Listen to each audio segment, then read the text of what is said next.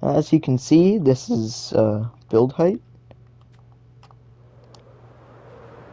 If that's build height,